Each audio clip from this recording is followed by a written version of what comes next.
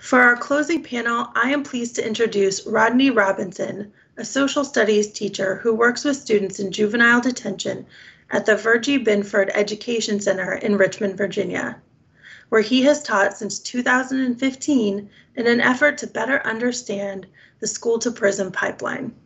Rodney is the 2019 National Teacher of the Year. In his social studies classes, Rodney takes a student centered approach to civics education, empowering his students to push for social change. With them, Rodney has explored the historical roots of the U.S. prison system, the ongoing effects of racial segregation, and voting rights. Rodney's classroom is a collaborative partnership between himself and his students and is anchored in him providing a civic centered education that promotes social emotional growth. He uses the knowledge he has gained from his students to develop alternative programs to prevent students from entering into the school to prison pipeline. We are honored to have him with us today and to introduce our closing panel. Thank you, Rodney. Good afternoon. It's a pleasure to join you for this important conference. Like many of you, I have dedicated my career to making the lives of my students better. And like you, I work with young people who have struggled to read their whole lives. And like you, I know it does not have to be this way. Throughout this conference, you have heard from presenters who have shared their research with you and explored strategies to support struggling readers becoming active citizens committed to improving their communities. As you heard in the gracious introduction, I teach social studies to students across grades 6 through 12 at Virgie Binford Education Center, a school located in the Richmond Juvenile Jail. When I started teaching there five years ago, our building looked more like a prison than a school. It had bare white walls. Today it has murals celebrating our students' heroes and motivational quotes from their students, from the students and their heroes.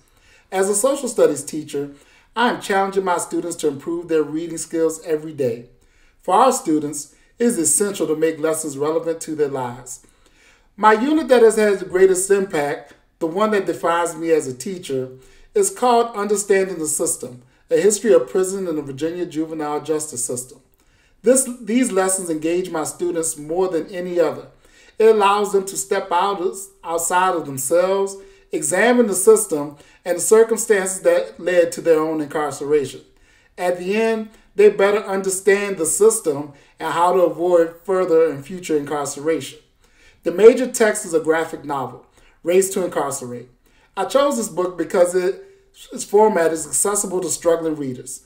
For every chapter, we have in depth discussions of the materials as a way to build their engagement and comprehension. The students read and analyze excerpts from other books. They review online clips from movies, videos, and music. They analyze poems and hip hop songs.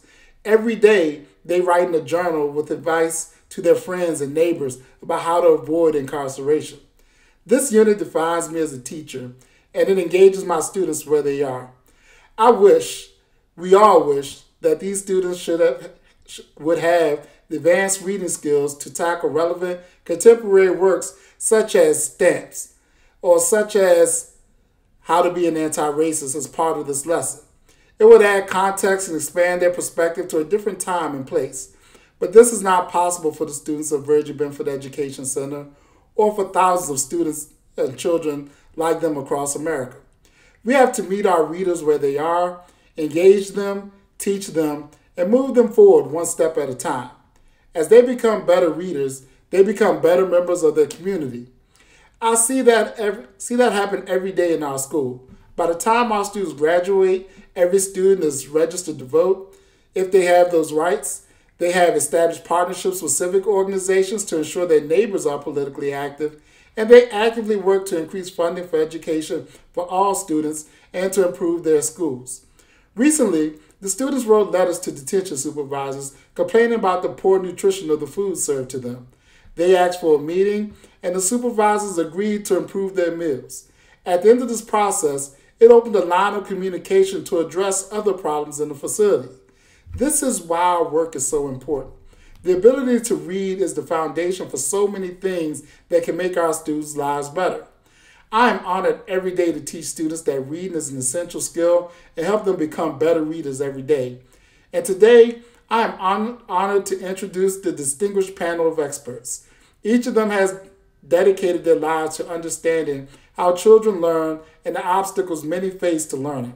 They are going to teach us what we can do to address the problems facing struggling readers, whether we work with them in the classroom, a college lecture hall, district headquarters, or the state legislature. It is my, my pleasure to introduce Kathy Nile, a senior advisor at School Rise LLC. Dr. Iles' career has balanced research and practice with a clear vision of bringing students of all backgrounds to high levels of achievement. At School Rise, she and her colleague, Dr. Taffy Raphael, have developed a comprehensive approach to help schools create a long term trajectory of growth with positive results in school culture and climate, classroom practices and assessment, and student achievement and engagement. She was the first person to hold an endowed chair in education at the University of Hawaii and she is a past president of the Literacy Research Association and the International Literacy Association. Christopher Edley Jr. is currently interim dean at the UC Berkeley Graduate School of Education. He was the dean of the UC Berkeley School of Law from 2004 to 2013, joining Berkeley from Harvard Law School. Throughout his career, he has moved between academia and public service. He served in the White House policy and budget positions under Presidents Jimmy Carter and Bill Clinton. As a senior counsel to Clinton, he directed a government wide review of affirmative action programs. He held senior positions in five presidential campaigns, including senior policy advisor for Barack Obama. More recently, Edley co chaired congressionally chartered National Commission on Educational Equity and Excellence. The commission's charge was to re- revisit the 1983 report, A Nation at Risk, he chairs the Commission's follow on effort for, for each and every child. Ray Hart is the Research Director for the Council of Great City Schools. He has more than 20 years of experience in research and evaluation, and his work has spanned policy areas such as post secondary success and college readiness, professional learning communities and school environment, teacher effectiveness, and value added analysis, early childhood education, and adult and workforce literacy. He has also been the assistant professor of research, measurement, and statistics at Georgia State University. Ray was recently named the council's next executive director, succeeding retired executive director Michael Casserly. Carol D. Lee is emeritus professor of Northwestern University School of Education and Social Policy. Her research has bridged theory and practice, developing a cultural modeling framework to help educators design learning environments that scaffold students' everyday knowledge to support language, literacy, and discipline specific learning in schools. Her research integrates the learning sciences, human development, and ecological perspectives. She is a founder of the three African Center schools that span a 48 year history. Most recently, she has been named the president of the National Academy of Education in the United States. Pedro Noguera has been the Emory Stoops and Joyce King Stoops Dean of the University of Southern California, Rossier School of Education since July 2020. A former faculty member at Harvard, New York University, UCLA, he has been a champion of public education throughout his career and was a public school teacher in Providence, Rhode Island, and Oakland, California.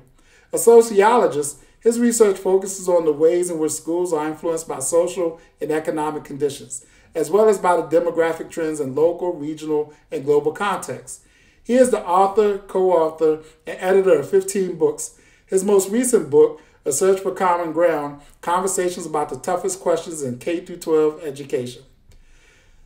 William T. Trent is a professor of educational policy, organization, and leadership at the University of Illinois Urbana Champaign Center for Culturally Responsive Evaluation and Assessment. He is widely recognized for his commitment to the improvement of educational practice in American primary and secondary schools. His groundbreaking research on equity in education and his repeated service as an expert, Trent's scholarship on educational inequality has focused on school desegregation efforts at the K 12 and post secondary levels, benefits and consequences, social organization of schools, status attainment research, co and extracurricular activities, and comparative education. What a dynamic group. And now it is my pleasure to pass the microphone to Dr. Peggy Carr, the moderator, to begin an exciting discussion with these remarkable panelists. Take it away, Peggy.